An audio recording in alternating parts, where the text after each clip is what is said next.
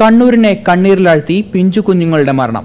ചക്രക്കല്ലിൽ കുട്ടിയുമായി അമ്മ കിണറ്റിൽ ചാടി. അഞ്ചര മാസം പ്രായമുള്ള കുഞ്ഞ് മരിച്ചു. മട്ടന്നൂരിൽ വെള്ളം കോരുന്നതിനിടയിൽ അമ്മയുടെ കയ്യിൽ നിന്ന് കിണറ്റിലേക്ക് വീണാണ് ആറുമാസം പ്രായമായ കുഞ്ഞ് മരിച്ചത്.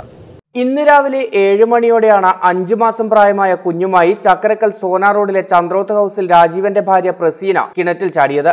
കണ്ണൂരിൽ നിന്നെത്തിയ ഫയർഫോഴ്സ് സംഘം ഇരുവരെയും പുറത്തെത്തിച്ചു. അഞ്ചരക്കണ്ടി കണ്ണൂർ മെഡിക്കൽ കോളേജിൽ എത്തിച്ചെങ്കിലും അഞ്ചര മാസം പ്രായമുള്ള ജാൻബി രാജ് മരിക്കുകയായിരുന്നു. മട്ടന്നൂരിൽ രാവിലെ പത്ത് മണിയോടെയാണ് കിണറ്റിൽ നിന്നും വെള്ളം കോരുന്നതിനിടെ അമ്മയുടെ കയ്യിൽ നിന്നും കുട്ടി കിണറ്റിലേക്ക് വീണത്. വെള്ളിയാമ്പാറയിലെ മോനിമ നിശാന്ത ദമ്പതികളുടെ മകൾ യാഷ്വിൻ തത്സമയം മരിച്ചു. നവമീഡിയ കണ്ണൂർ. കൈ നിറയെ സമ്മാനങ്ങളുമായി സ്കൈപ്പർ ഹൈപ്പർ മാർക്കറ്റ്.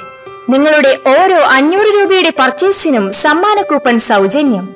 ഇതിലൂടെ ഗോൾഡ് കോയിനുകൾ സൗജന്യമായി നേടാം. കൂടാതെ മറ്റു നിരവധി ഓഫറുകളും നറുക്കെടുപ്പ് ഒക്ടോബർ മുപ്പത്തൊന്നിന്. സ്കൈപ്പർ ഹൈപ്പർ മാർക്കറ്റ് റോയൽ സിറ്റി പഴയ bus stand Payyanur. Phone zero four nine eight five two zero six nine zero nine mobile nine double four six zero six six nine zero nine